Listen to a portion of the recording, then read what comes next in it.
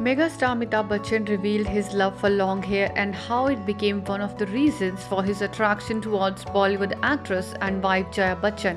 He also praised the late legendary singer Lata Mangeshkar's long hair on Kaun Banega Crorepati 14.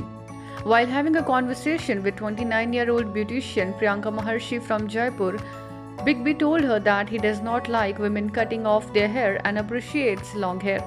He also spoke about the late legendary singer Lata Mangeshkar who had long hair that touched her ankles. He said, I never know what Lataji applied to the hair, but they were beautiful and long. In fact, one of the reasons that I got married to Jaya Bachchan was her long and beautiful hair. Big B also added that he does not like little girls getting their hair cut. He thinks that the hair that is grown nicely does not require to be cut.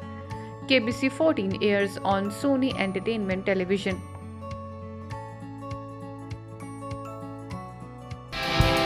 Subscribe to our channel. Just click on the bell icon for all the latest updates.